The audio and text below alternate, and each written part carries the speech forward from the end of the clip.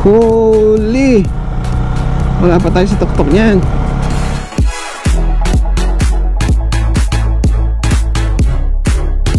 Yan, the Romblon Fun Divers. Ayun.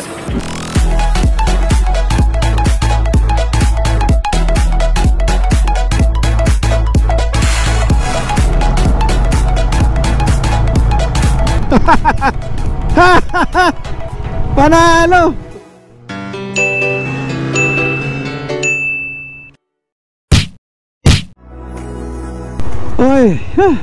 Hindi na tayo nag-gloves, ilagyan natin sa loob. Dahil walking distance lang yung pupuntahan natin. Na-meet natin yung owner, si Sir Marshall. Nandun sa loob. Tingnan natin kung mapapati natin. Alright, ayan. Saan dito? Ang alam ko na dito lang yung ano eh. Ito na yata. Ah, ito na nga. Lapit ka lang. Fun divers. Dito tayo sa harap. Mag-park. Rooms available.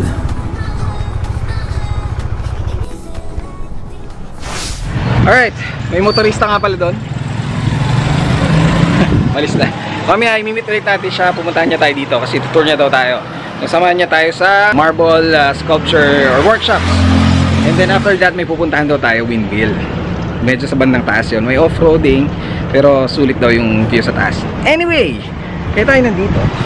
Dito na tayo ngayon sa ating uh, tutulugan for two nights. We have the Romblon Fun Divers. Ayun. Kita ba?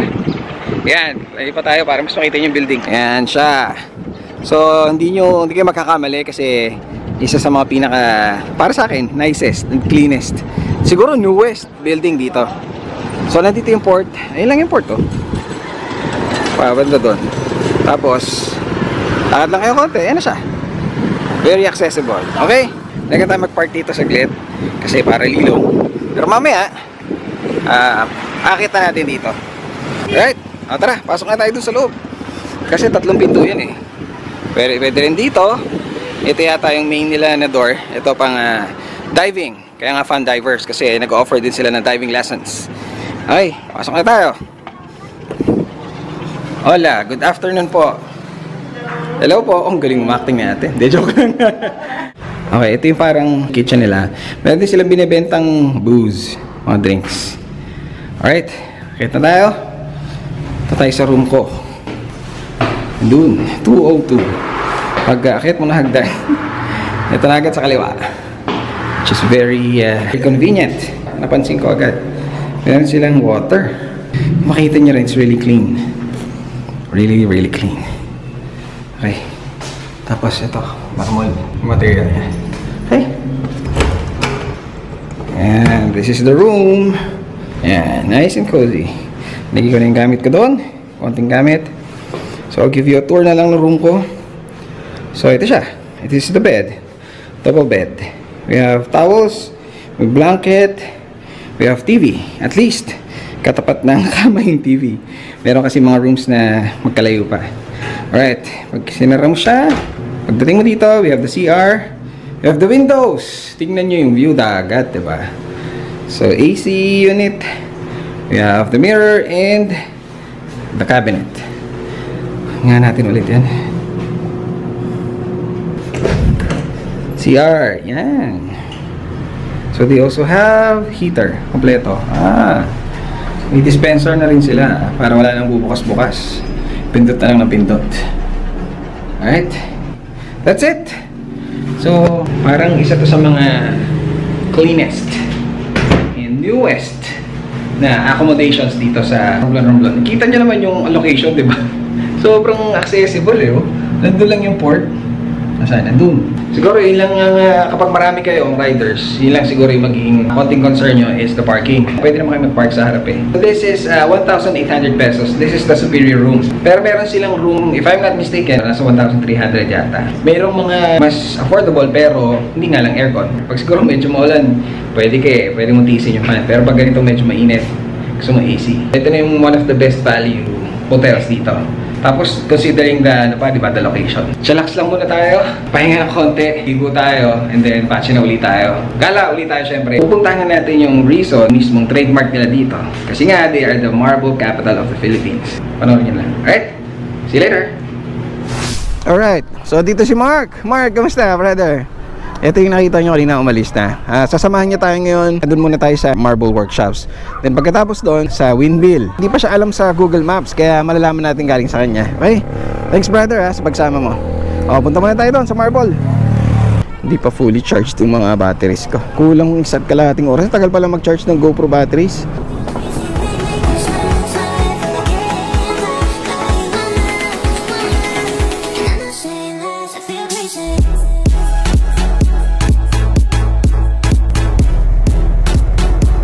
Tinanong ko siya kanina, sabi ko parang hindi uso yung helmet sa inyo ah. Sabi niya oo daw. Tapos full gear pa tayo, di lalo na. Ah, ayun, may isa namang naka-helmet. Bilang na bilang ng mga naka-helmet. Marmol, marmol, marmol. Ano yung mapamarmol? Logo ng motor, no? Kaso hindi naabot. Tad pala, nag-advance na ako.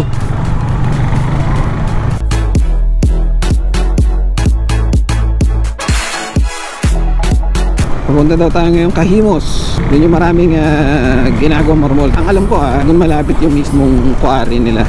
Nakakatawa naman to si Mark. Nag-message na to sa akin eh. Saro niya mag-guide. Kaya mga motoristas, huwag kayong mahiya na mag-volunteer. But I want to meet uh, more of you guys.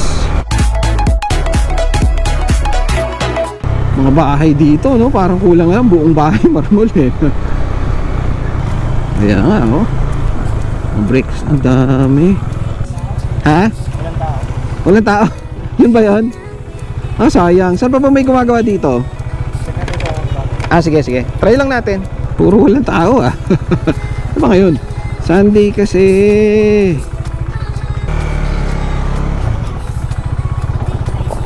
Puting-puti oh. May mga dumadaan truck dito no. Hindi pwede mag-park dito no.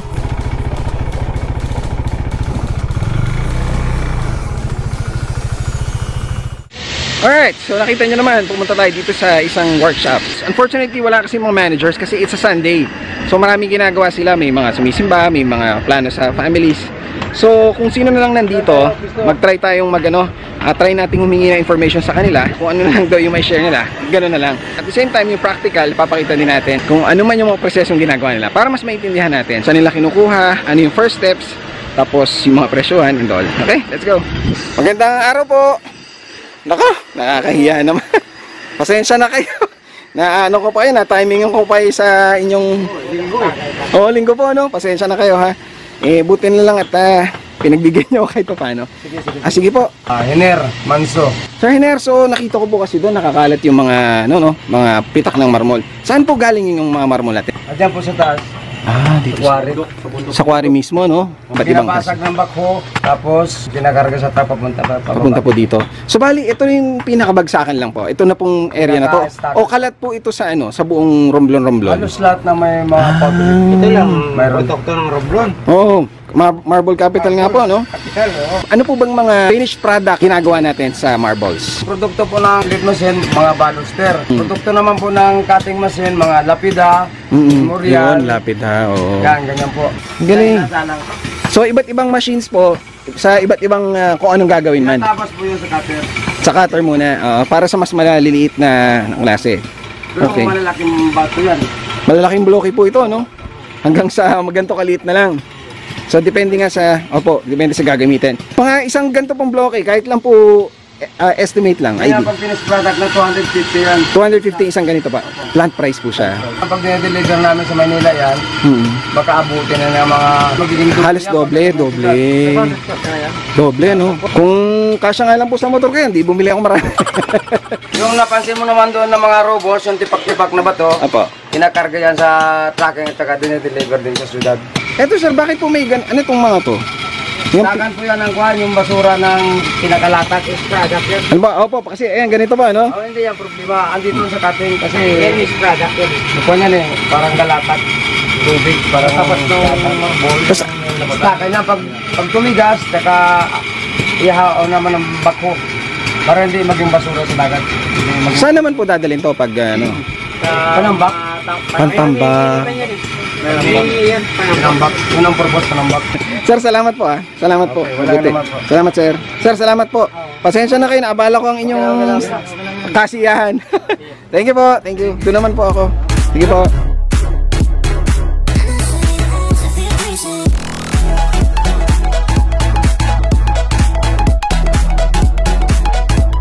Okay, kinisin nila. And then, ah, dali nila dito.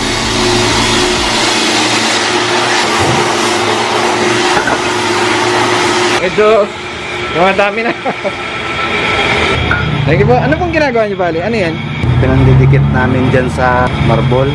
May nilalagay dito na dryer saka polyester para dumikit. Ano po yan, no? Mga tumitigas. Ganyan. Ano yan? Mga pantapal-tapal. mga dust, dust na yan yung Dust. maliliit. Opo. Yan po yung nandun sa tabi. Tama ba? Ay, bukod pa yun. Ganyan, pino, no? Pinong-pino. Pino. Ano, maalikabok lang. Hindi pa naman kayo nagkakasakit dito. Ay, wala naman Walang kaso, wala wala. naman po sa ano eh. Tagal na namin, wala naman na ano. Nasa tagal nyo na. Mga apatay, yung ganun, or mas matanda sa inyo, wala rin. Wala naman na nagkakasakit dito sa gumagawa. Sa amin. Ay, tensya na po. Okay. Sige sir, maraming salamat po. Thank you po. Mamaya try natin puntahan yung mga nag, yung mga nagka-carve. Anyway, at least nagkaroon kayo idea kung paano ginagawa to saan galing. Pag may nakita kayong lapida or material sa bahay nyo, dito yun, ma- malamang dito galing yan. Okay? Sige. Try natin makapunta sa you po. Makapunta sa mga nagka-carve.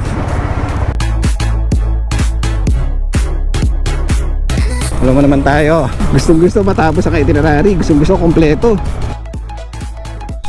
Dito, dito. O yan. Sabi ko sa inyo eh. Try natin. Nakahanap tayo ng pwesto dito. Ah, interview natin si sir. Sir, magandang hapon po. Sir, ano po pangalan nila? Ah, Bibot Santiago. Tama, tama pala. Naabutan natin sa magandang oras. Wow! So, siya mismo yung artist. Sige, sir. So, ano pong ginagawa nyo ngayon, sir? Abstract na design. Abstract siya. Ito yung pattern niya. Ay, ito pala. Ito yung gagayahin nyo. Pwede ko pong hiramin. Siglet. Ang hirap naman ito. Para magka-idea lang po sila. Kahit estimate lang po. Bigay ko dito ay ano? 30,000. 30,000. Parang hirap po nun ah. Mahirap nga. ito yung mga sample ni sir, oh. Dragon. Tsaka, syempre, lion. Saan po ang tindahan nyo, sir? Yung Sa poblasyon, sa ano mismo? Bayan mismo? sa bayan, doon sa shopping center. Santiago Marble Arts and Crafts. Gumagawa ba kayo ng tao? Opo. Ay, ito pala. ulo. oh. Ito pala, ulo. Ayan. Yan. Yan po siguro ang mahal, ano? Oo. Etong ganito pong ulo, magkano kaya? Yan ay ano yan? 3,000 lang yan. Ito, ah, kasi maliit lang. Pero yung isang buong tao po, isang buong ano, Yung mga nandun yun sa mga 80,000. 80,000. Ito po, sa tingin nyo, gano'ng katagal pong abutin yan? Ito, Mula nung simulan nyo, o sinimulan nyo? ah, abutin ko ng mga ano, kalahating buwan. Ah, kalating buwan lang. Mabilis din. Tapos pag nagkamali naman po, meron kayong parang pampatse, eh, no? Pag Tam- nagkamali, di, ano wala na. Ulit yon? Hindi tulad nung kahoy na pwede mong patsihan lang. Pagkuha mo ng bloke, diretso ukit na yan. Wala nang mga ano-ano pa, iba pang mga steps. Ito po, ganito. Tapos diretso ukit na po yon. Oo. Tapos papakinisin na lang. Okay, so, Ayos. Ay, thank you sir. Salamat po.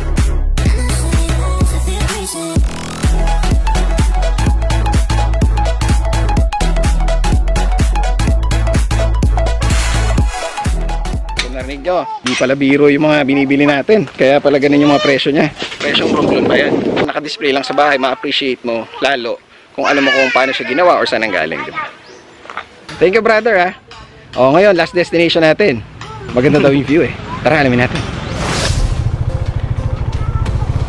Thank you pa. Off-road daw yun. Exciting. Let's do this.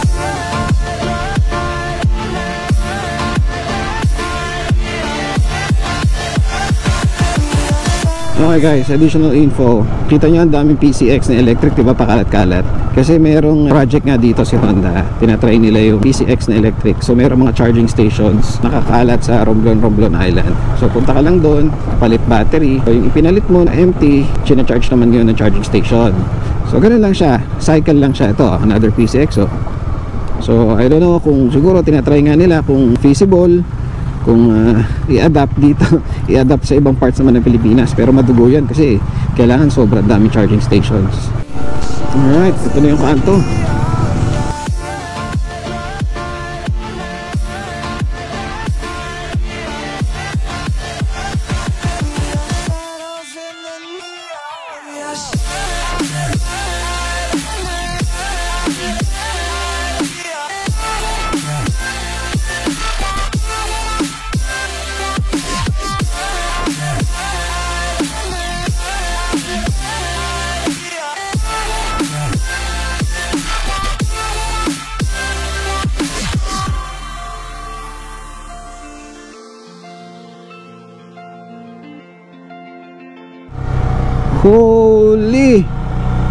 Wala pa tayo sa tuktok niyan.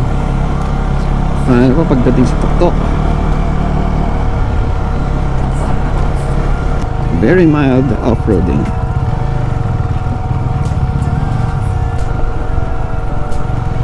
Ayan na. Oh, reminds me of Pililla.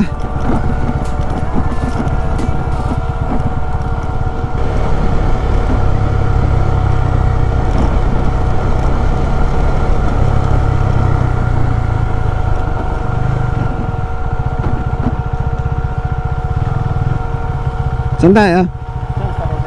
Galang dito ka. Paano mo nalaman to? O gala ka lang.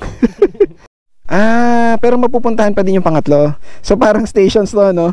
Unang ah, wind turbine, pangalawa, tapos kaya pa daw sa, ah, pwede pa daw sa pangatlo kaso medyo ano na, mata- matarik na masyado. Kailangan nun pang ano na, enduro na ano. Ready to race.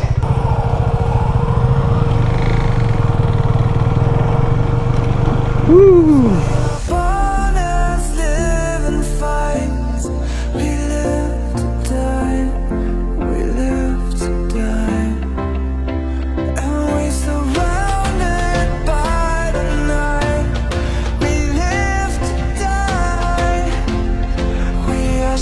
Second windmill. Woo! Mga adventure na gusto ko.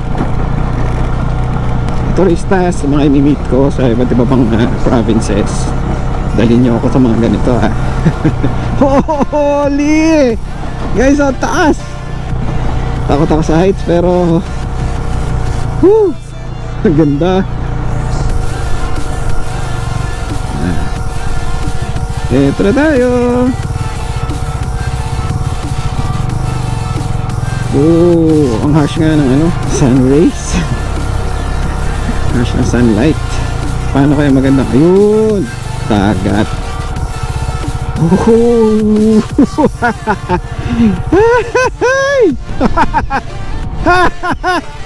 Panalo!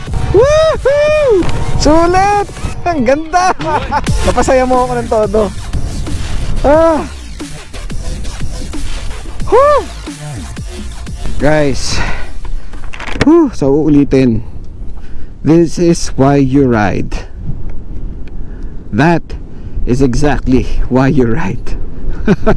Mas masayang puntahan to on two wheels.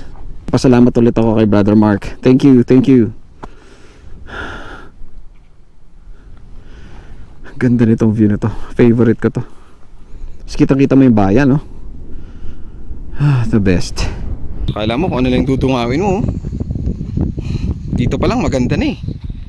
Tapos habang habang nare-reveal oh. Habang nare-reveal oh. Ho! Ah, ganda.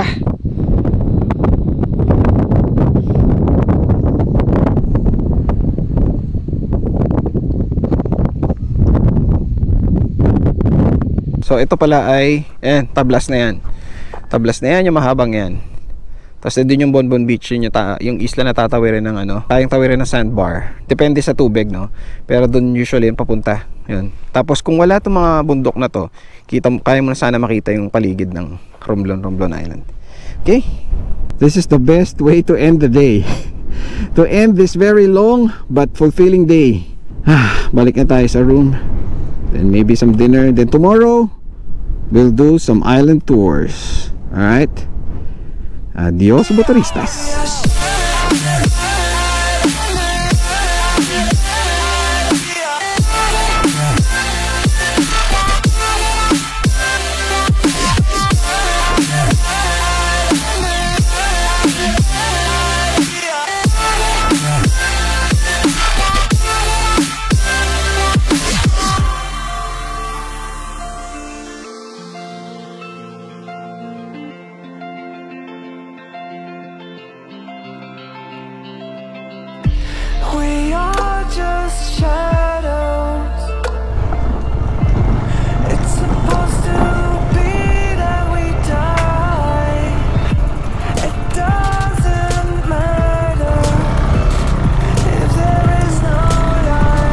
Yan pala tandaan.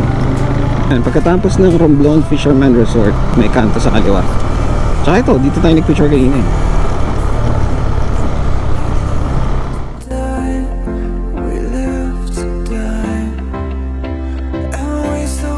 before we head to our hotel, syempre, meriendahin naman natin ang ating MVP. Dahil si Mark ay isang MVP, ito ay ibibigay natin sa kanya. Bihira lang ang meron ito. Bihira lang ang may ganito kalaking sticker, brother. Kaya para yun sa mga tulad mo,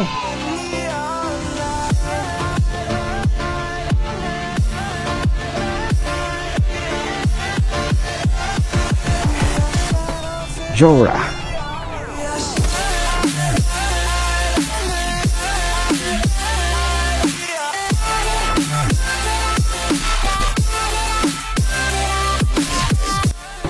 Thank you. Yun, ang laki pala ng chicken.